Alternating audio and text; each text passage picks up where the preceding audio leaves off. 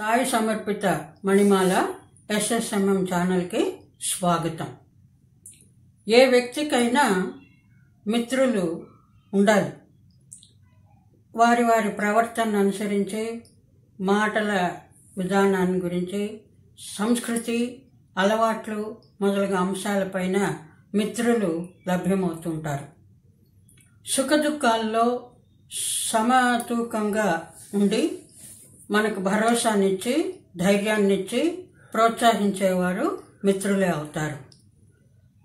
డబ్బుకు హోదాకు సంబంధం లేని ఒక అద్భుతమైన పవిత్రమైన బంధమే స్నేహబంధం. ఈ స్నేహబంధానికి పరిధులు పరిమితులు ఉండవు. ఆ వ్యత్యాసాలు కూడా ఉండవు. అంతరాల వ్యత్యాసాలు కూడా ఉండవు. అదే స్నేహబంధం.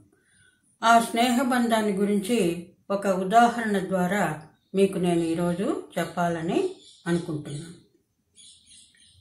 భగవంతుని అవతారాలన్నీ దుష్ట శిక్షణ శిష్ట రక్షణ కోసమే మా అవతరించారు కూడా భగవంతుడు. అలాగే ఆ అవతారాల్లో శ్రీకృష్ణుని అవతారం కూడా ఒకటి. శ్రీకృష్ణుడు యశోదానందనల ఇంటిలో పెరిగి గోకులంలో తన సహ గోపకులతో స్నేహంగా చాలా ఆప్యాయతగా వారితో సమానంగా ఉంటూ వారికి ప్రేమను చూపిస్తూ ఓ- ఎన్నో అద్భుతాలను చూపించి చూపించారు కూడా. అటు పిమ్మట కంసుని హతమార్చడానికి మధురా నగరికి వెళ్తారు. ఎందుకంటే కంసుడు మేనమామ అయినా కూడా ఆయన కూడా ఒక దుష్టుడే కదా అందుకని. అక్కడ కంసుని హతమారుస్తారు. ఆ తరువాత ఆ ఆ టైంలో ఆయనకి సుమారు పదహైదు పదహారు సంవత్సరాల ప్రాయం ఉంటుంది. ఆయనకి విద్యాభ్యాసం చేయాలని ఒక ఆలోచన వస్తుంది. సహజంగా అయితే శ్రీకృష్ణుడికి విద్యాభ్యాసం అవసరం లేదు. ఆయనే భగవంతుడు. ఆయనకి తెలియని జ్ఞానం లేదు ఆయనకి తెలియని విషయాలు లేవు ఆయనకు అవసరమే లేదు. కానీ భావితరాలకు గురుకుల వాసం చేసి గురు గురువుని గౌరవించి గురు శుశ్రూష చేసి విద్యను అభ్యసించాలని తెలపడానికి తను తన అన్నతో అన్న బలరాముతో కూడా సాందీపని అనే గురువు దగ్గర విద్యాభ్యాసం చేయడానికి వెళ్తారు. అక్కడ సుధామ అనే ఆయనతో పరిచయం అవుతుంది. ఆ పరిచయం బాగా స్నేహంగా మారుతుంది. ఇద్దరు కృష్ణుడు ముఖ్యంగా కృష్ణుడు సుధామ చాలా గాఢ స్నేహితులు అవుతారు ఒకరిని విడిచి ఒకరు ఉండరు ఏ పని చేసినా ఇద్దరు కలిసి చేస్తారు. అలాగా కలిసిపోయి ఉంటారు. ఒకరోజు ఏమవుతుందంటే గురువు గారికి దర్భలను తీసుకొని రావడానికి ఆ పని వీళ్ళిద్దరికి అప్పచెప్తారు. వెళ్ళేటప్పుడు గురువు గారి భార్య కొంచెం అటుకులు సుధామ దగ్గర ఇచ్చి మూటగట్టి ఇచ్చి మీరు చాలా దూరం వెళ్తున్నారు కదా అక్కడ అలసిపోతారు చాలా నడిచి అక్కడ ఆకలి అయితే మీరిద్దరూ తినండి అని అటుకులు ఇస్తుంది ఆమె ఇద్దరు వెళ్తారు అలా చాలా దూరం వెళ్తారు. అలా నడిచి నడిచి నడిచి చాలా దూరం వెళ్ళిన తర్వాత వాళ్ళిద్దరూ చాలా అలసిపోతారు. ఇద్దరికి ఆకలి వేస్తుంది దాహం వేస్తుంది. కానీ సుధామ ఏం చేస్తాడంటే తన దగ్గర ఉన్నది కొంచెమే అటుకులు ఇది ఇద్దరికి చాలదు అని నాకు సరిపోదు కదా అందుకని నేనే తింటానని చెప్పి కొంచెం దూరం కృష్ణుని వదిలి కొంచెం దూరం వెళ్తాడు. అప్పుడు ఆయన మనసులో ఒక స్వార్థ భావన తలెత్తుతుంది. మనం మామూలుగా చెప్తాం కదా మన కర్మలను అనుసరించి అన్- అనుభవించాల్సి వస్తుంది మంచి కానీ చెడు కానీ అని బుద్ధి కర్మానుసారణి అని కూడా చెప్తుంటారు. ఎందుకు ఆయనకు ఆ టైంలో పాపం అలా తోచింది? కానీ కృష్ణుడికి తెలుసు. ఆ, సుధామ దగ్గర అటుకులు ఉన్నాయి తను స్వార్థం చూపిస్తున్నాడు అని. కానీ అతన్ని పరీక్షించడానికి ఏం చేస్తాడంటే కృష్ణుడు ఆ సుధామ దగ్గరికి వెళ్ళి నాకు చాలా దాహము ఆకలిగా ఉంది నీ దగ్గర ఏమైనా తినడానికి ఉందా?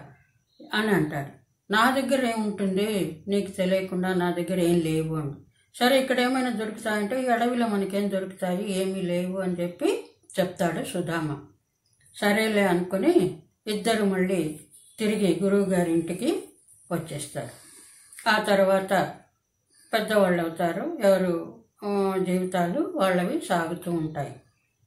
కానీ సుధామకు తను చేసిన ఆ ఒక్క స్వార్థ స్వార్థమైన పని వల్ల కొంచెం కష్టం. ఎందుకంటే భగవంతుడు చెప్తుంటాడు కదా ఎవరి కర్మలు? కర్మ అంటే ఏం లేదు. మనం చేసే పనులే. మనం చేసే పనుల గురించి మనకు మంచి చెడు జరుగుతుంటాయి.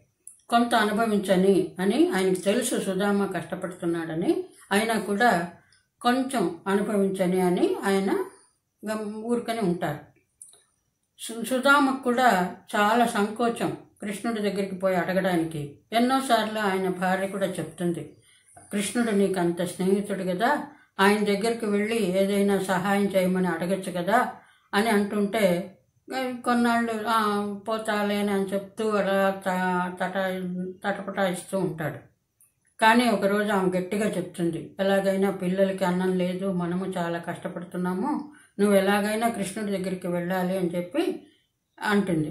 సరే ఆయనకి తీసుకుపోవడానికి మన దగ్గర ఏం లేదు కదా ఎవరన్నా స్నేహితుడిని కానీ పెద్దవాళ్ళని కానీ చూసేటప్పుడు ఏదన్నా కానుకగా తీసుకెళ్ళాలి కదా అంటే కానుకగా మనమేమి ఇవ్వగలము సరే ఆయనకు అటుకులు ఇష్టం కదా అటుకులు కొన్ని కట్టిస్తాను తీసుకెళ్ళు అని చెప్పి ఆమె కొన్ని అటుకులు కట్టి ఇస్తుంది. సుధామ వెళ్తారు. సుధామనే కుచేలుడని కూడా అంటారు. కుచేలుడు అంటే చేలం అంటే వస్త్రం కుచేలుడు అంటే చిరిగిన బట్టలు కట్టుకున్నవాడు అని ఆయనకు అట్ల కొంచెం పేరు అలా వచ్చిందని చెప్తారు కొందరు. కృష్ణుడి దగ్గరికి వెళ్తారు. వెళితే అక్కడ కాపలదారులు కాపలా కాసేవాళ్ళు ఉంటారు కదా వాళ్ళు ఈయన చూసి లోపలికి రానియరు అయ్యో కాదయ్యా నేను స్నేహితుడికి చాలా ఇష్టమైన వాడిని చాలా గా ప్రియమైన మిత్రుణ్ణి అని చెప్తారు. వాళ్ళు పరిహాసం చేస్తారు. నువ్వేంటి? కృష్ణుడికి మిత్రుడేంటి? నీ వేషం ఏంటి? నువ్వు ఎలా ఉన్నావో అది మేము నమ్మము అని చెప్పి వాళ్ళు పంపించారు. కానీ ఇంకా కృష్ణుడు అనుకుంటారు పాప ఇంకా తన్ని పరీక్షించొద్దులే అని చెప్పి ఆయన లాస్ట్లో సుధామ చెప్తాడు నువ్వు మీరు పోని నన్ను పంపించకపోతే కృష్ణుడి దగ్గరికి పోయి చెప్పండి ఇట్లా సుధామ వచ్చాడు మీ ప్రియ మిత్రుడు అంటున్నాడు అని చెప్పండి అంటే సరే అని వాళ్ళు పోయి చెప్తారు. అప్పుడు వెంటనే కృష్ణుడు లేచి వచ్చి సకల మర్యాదలతో సుధాముని తన తన మందిరానికి తీసుకుని వెళ్ళి ఉచిత ఆసనం మీద కూర్చోబెట్టి ఆయన కాళ్ళు కడిగి ఆయనకు షడ్రసోపేత ఆహారాన్ని ఇచ్చి చెప్తాడు. మనం గురుకులంలో ఉన్నప్పుడు ఎలా ఉండేవాళ్ళం అని చెప్పి ఆ చిన్ననాటి సంగతులన్నీ చెప్పి వాళ్ళిద్దరు చాలా సంతోషంగా హాయిగా కొంతకాలం గడుపుతారు. కొంత సమయం గడుపు గడుపుతారు. ఇంటికి వెళ్ళేటప్పుడు కృష్ణుడు ఆయనకి చాలా ధనం బహుమతులు అన్నీ ఇచ్చి పంపిస్తాడు ఈ ఈ సందర్భం ద్వారా నేను చెప్పదలుచుకుంది ఏంటంటే ఎంత ఏ ప్రాంతంలో ఉన్నా ఎంత హోదాలో ఉన్నా కూడా స్నేహితులను మరవకూడదు. వాళ్ళని గౌరవించాలి. చిన్ననాటి స్నేహితులైతే ఇంకా ఎందుకంటే ఆ మధురానుభూతులు మరవడానికి కావు కదా. కా- అందుకని స్నేహ బంధం అనేది అంత మహిమాన్వితమైనది. స్నేహాన్ని ఎవరు విడవకూడదు అని చెప్పి మంచి పనులతో అంటే స్వార్థం మనసులో పెట్టుకోకుండా మంచి పనులు చేస్తుంటే మనకు కూడా అన్నీ మంచివే జరుగుతాయని ఈ సందర్భం ద్వారా మనకు అర్థమవుతున్నది.